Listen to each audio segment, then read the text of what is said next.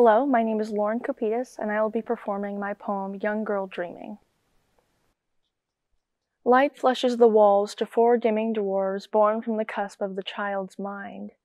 She freezes in the palm of the sun, ivory legs stacked to barricade the wall. Cerulean blue wades around her waist, a nightgown clasping the fruitless chamber, hovering above gossamer thighs.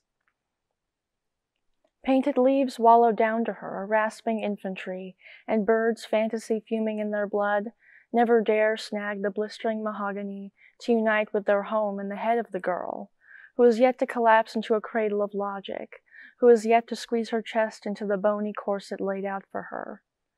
The imaginative jester straddles his wiry fuse, cinder churning in his cheeks. Pinned to the bed by the collar, he will soon plummet to the yawning chasm of iron floorboard below.